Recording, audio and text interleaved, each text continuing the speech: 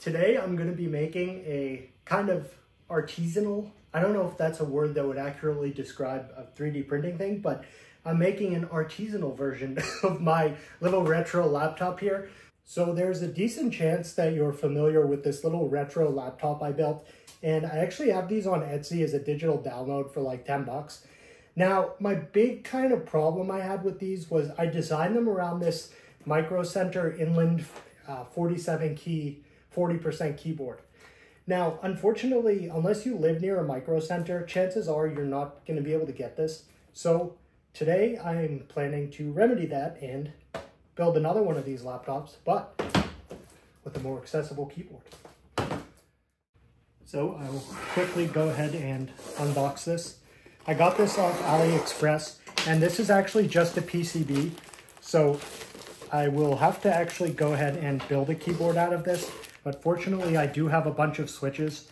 And I don't know what I'll do for keycaps, but I will probably just end up 3D printing some or borrowing some from another keyboard or something like that.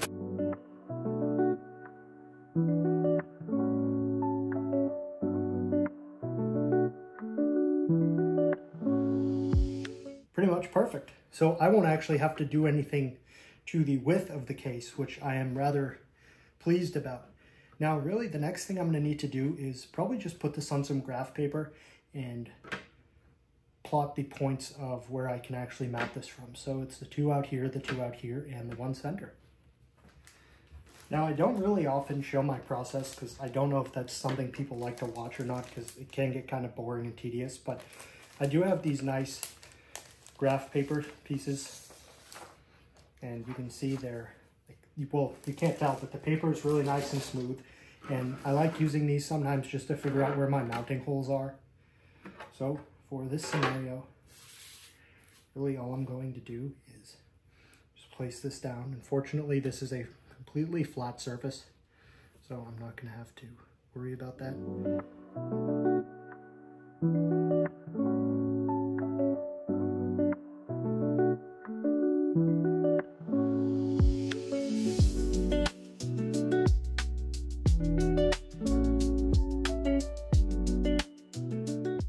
So you can see here that I have a test mount for this AliExpress keyboard PCB and I'm going to go ahead and print this now.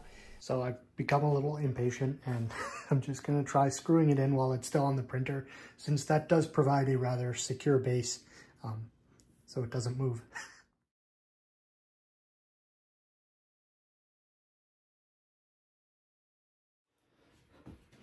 so we can just real quick see that and I put this on the ground. And the base that the keyboard is mounted on right now is the same height as the floor of the laptop. So it is pretty much seemingly close to on par with the height and rake of the Micro Center keyboard, which is bodes well. Now that I know the keyboard fits these mounting points, I can kind of just go ahead and actually build the base of the laptop that is going to be for this specific keyboard. I want to do this laptop in more of a fun color theme. So I have dark blue filament from Inland, which is Micro Center's sort of store brand, if you will. And I think I'm just going to go ahead and use this. I think it will actually look kind of cool in a dark blue. And maybe I'll get some green going in there for like another hackerish style build.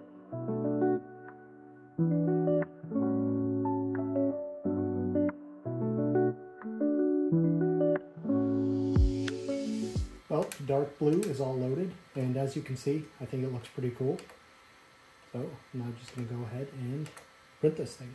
And here's a little kind of taste of the color. So I was just kind of prototyping what height this would need to be to have the keys at the same general height as the inland keyboard. And in doing that I just 3D printed a keycap in the fun kind of cool plate texture. And I like that so much that I'm almost sort of switching directions right now in the whole point of this video. And I'm going to go ahead and entirely 3D print the rest of the parts for this sans the actual switches. So as you can see right here if I try to pan smoothly over and show you that is a build plate full of kind of reflective cool keys. And since this is a small 40% keyboard, I can actually kind of getting get away with just printing all the keys. So that's what I'm gonna do now. Now I don't actually remember how many keys are on here because I did this all last night, but I'm just gonna gonna loosen them and then I should, yep. All right, so this is kind of cool. These are really of decent quality and I'm happy about that. Now I might actually use a Cricut machine for the first time to get the letters drawn on these. All right, let's just deposit our keys on this table. There you go. All right, this is super cool. I really like these. I know it's probably hard to see, but oh no, you can totally see it right there. It's just got such a cool surface because of the build plate here. I am very excited about this. I'm now printing the plate for the keyboard, which since it didn't come with the PCB I purchased, I just quickly drew one up in CAD and now I'm going to print it and I'll probably just time lapse this print since it's only about 30 minutes.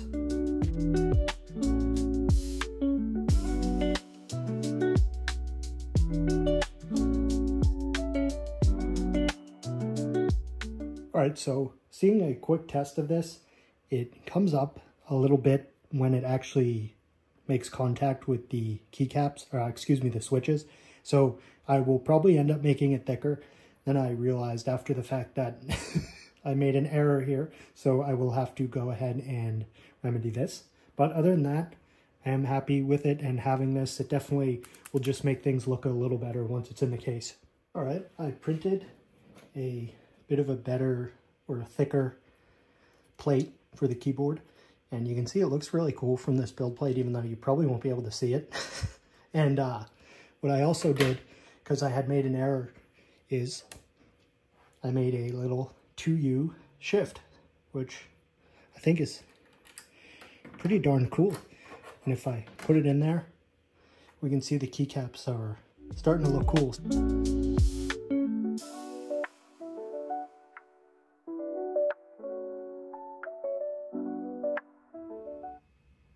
All right, after a lengthy period of time, I got all the keycaps on, and I think this thing, it looks absolutely awesome. And I say that meaning the actual plate underneath too, because the textures match. I love this. To be honest with you, I don't want to put this in the laptop. I would like to just build this around for this and keep it as a desktop keyboard. And I don't think I want to put letters on them because they look so much cooler like this. Now, I will, just for the sake of, I suppose, consistency and continuity, go ahead and mount this in the laptop just to kind of see how it looks because, okay, that, that actually looks pretty cool too. but I may have to, um, I don't know, but this is, I'm very happy. I'm very, this needs kind of a stabilizer, but I can find a way around that. And it feels really good too. All right, so I decided to print the bezel for the laptop on this cool plate as well not when I say cool plate I mean the texture is interesting not it's a cool plate which is an actual thing. And I think it'll look pretty cool on the bezel of the laptop maybe a bit um, flashy or flamboyant if you will but I think for this one-off one it'll be pretty cool Now I wasn't really able to time lapse because I may or may not have forgot to record it. but I have this just kind of like not for real mounted, but the keyboard itself is actually all screwed in and stuff. And I was just kind of trying to do like a typing comparison between this one and the original laptop. And the feeling of this is interesting. I'll just kind of let you hear it versus. So this one these are lighter but it feels a lot clickier in terms of sound and things like that. So but honestly for something that's a lot of 3d printing involved here just in terms of the keyboard plate and the actual keys themselves i think this is pretty cool. I'm very happy with it so far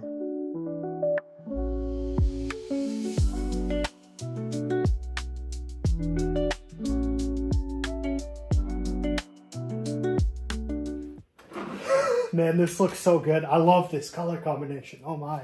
I gotta, I'm sorry, but I'm too impatient. I need to, I need to see this immediately. oh yeah, I love that. I absolutely am very, very much liking this. So I have partially disassembled everything just to place all of the components in. And being that I do not have enough for two laptops, meaning like the battery power stuff and things like that, I did borrow some from this laptop, but that is okay because I do plan to purchase more of these components.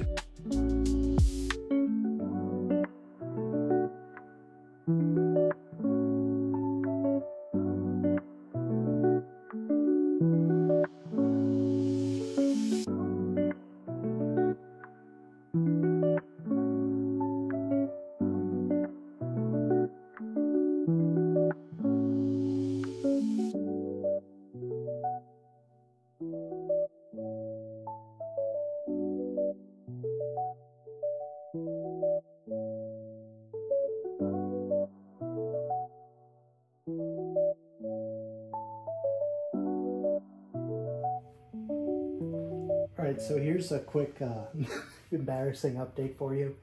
After really being quite frustrated that the screen just was not getting signal, I went as far as to just pull the screen out of the other laptop to make sure.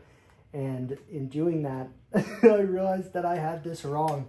I did not have the contacts facing the contacts, if you will, or however you want to parse what I just said to make sense. So um, embarrassingly, I need to just remedy that, and then I will try once again to run this.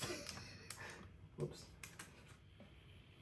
I'm extremely happy to report that it is all fired up and running.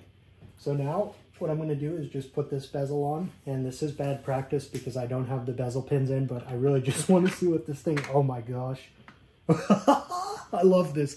I absolutely, I know it's kind of hard to see probably with all the lights on, might turn one or two off just to get a better look. Eh, that's too dark. But it really, I love the texture from this build plate. That really made all the difference here.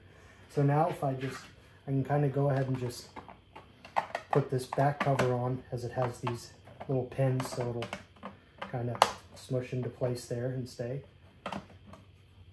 And yeah, I mean, and it will run on battery power as well since it's pretty much had all of its things borrowed from the other one. But this really, I love the way this looks. I now, I think the big problem is, well, there's two problems. These hinges are a little wonky, but I printed them differently and I didn't tighten them fully, so we'll just ignore that right now. I don't know that I know where these keys are, so I'm just gonna have to map it from this one.